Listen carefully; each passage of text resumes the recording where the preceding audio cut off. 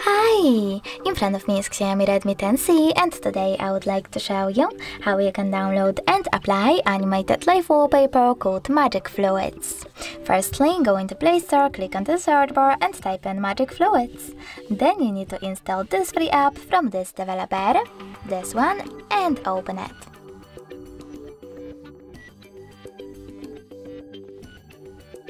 Now click on those three lines at the bottom right corner, tap on settings, so sorry misclick, click on settings and tap on I accept in this pop-up.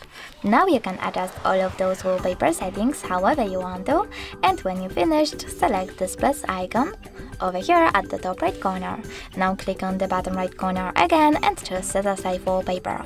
Then click on set wallpaper, pick one of those options like home screen and click on home button. As you can see, wallpaper of my Realme Redmi, so sorry, has changed. Thanks so much for watching. If you enjoyed this video, leave a like, comment and definitely subscribe. Bye!